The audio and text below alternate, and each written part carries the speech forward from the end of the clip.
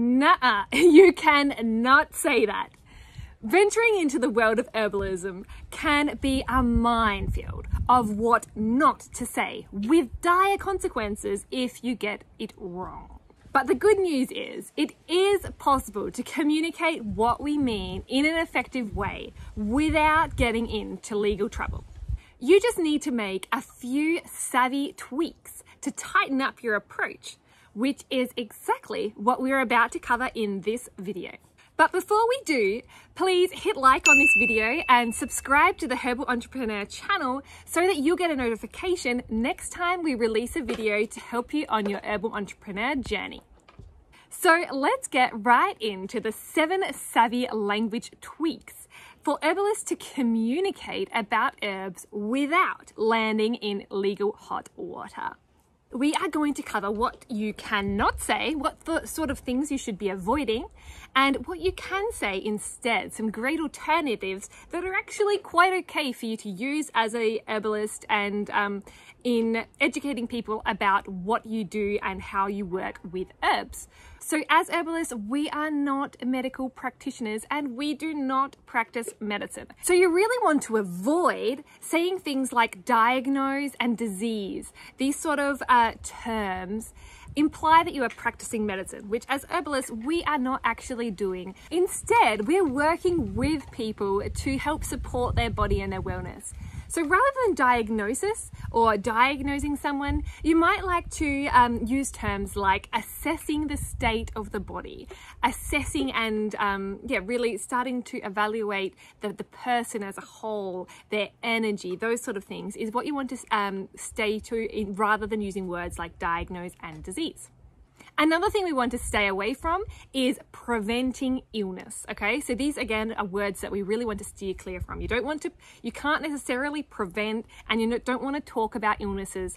Instead, what we can be using here instead is like supporting the body to maintain the natural balance. Okay, and so this we're not actually preventing anything, we're just supporting the body's natural systems to help ensure that it stays healthy.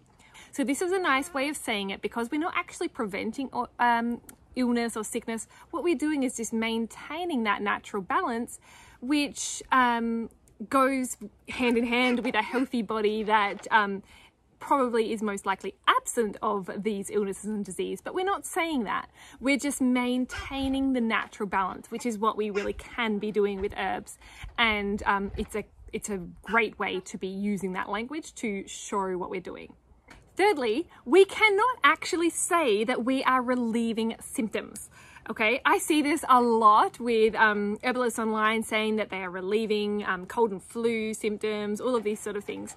We cannot actually say that because, um, again, it falls under that umbrella of practicing medicine. And as herbalists, we are primarily educators and not medical practitioners. Okay, this is really important because we're not licensed, and um, or depending where in the world you are, but in most countries there's not that licensing for herbalists, so you need to be really careful there. Rather than using the term relieve symptoms, you can kind of substitute that out with um, you might ease discomfort or you might um, uh, correct an imbalance in the body okay? This is these sort of terms are okay to to be using because they are more um, they're not directly practicing medicine. They're about uh, putting that body back into balance which is a great way of um, seeing and viewing how herbs do actually work and have a positive impact on our bodies. Number four is we cannot heal patients, okay? So we're not actually healing our patients what you can use um, instead of saying that you're healing patients is you are supporting your clients, okay?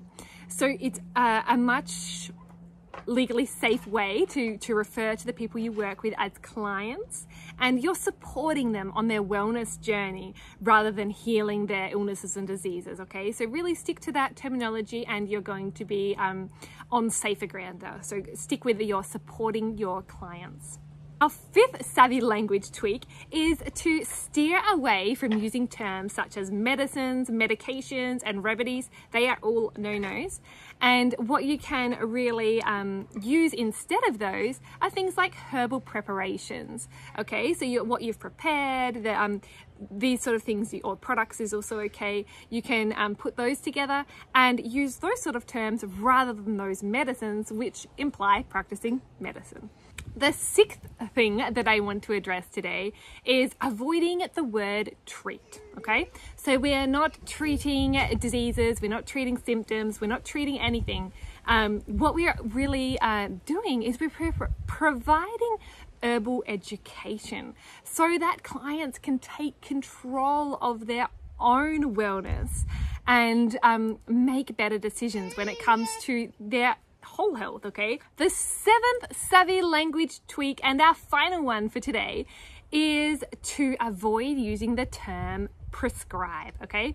Once again, prescribe really does fall under practicing medicine and as herbalists, we are not licensed to practice medicine.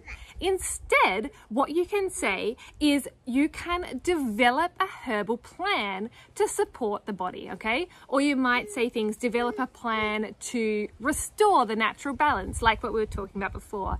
Balance is a great term to um, describe what we do and how we uh, bring the body back to that healthy, well state that um, we want for our clients. So there you have it. They are the seven savvy language tweaks to communicate what you mean as an herbalist in a legally safe way.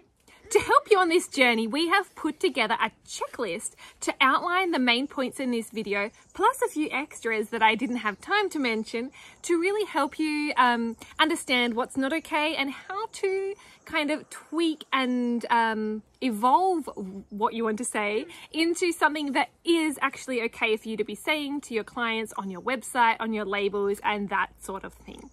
So please do uh, check out that link below and download the special resource to help you uh, make those language tweaks and know what to steer clear of and what sort of alternatives that you can use instead. Now, before I end up this video today, I really do want to um, uh, outline a final piece of advice, which is that you need to remember that all of the words that you use are just words. And there is something else that you need to consider, and that is the intent. And that has a big impact on how your words are interpreted. So what I mean by this is you need to understand at the core of what we do as herbalists is that we are not licensed medical practitioners. We really are primarily um, educators and help to support our clients on their wellness journey, okay? We understand the herbs and are able to um, educate our clients around how they're used to support the body, but we do not like make any diagnosis. We do not prescribe herbal regimens, medications, these sort of things. That's not what we do. It's really around that education piece and um, supporting clients on their wellness journey. So no matter what language you use, you really do need to think about how what you're saying can be interpreted and it's in the best interest of our clients as well to understand that that's where we're coming from and how the herbs can help them on their journey of yeah natural balance and wellness for their body. Thanks again for watching. I love supporting you on your herbal journey and um, helping you to build a strong and sustainable herbal business.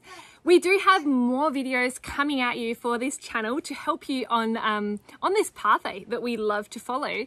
And so if you want to hear more about um, how to start an herbal business and ways to grow uh, what you're doing, please do hit like on this uh, video and subscribe to the channel so that you will get a notification next time a video is released. I hope that you're having a wonderful week and wish you all the best on your journey to build your herbal business.